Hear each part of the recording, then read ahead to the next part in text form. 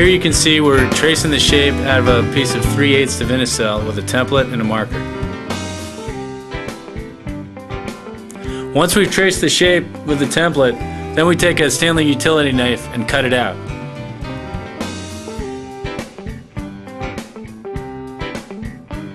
Once both pieces have been cut out, then we're very careful to measure and glue the top piece to the bottom piece.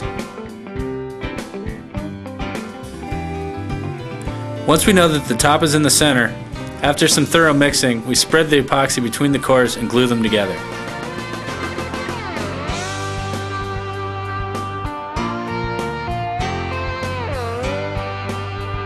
Once the cores have been glued together, we use sandbags as a clamp and leave it overnight.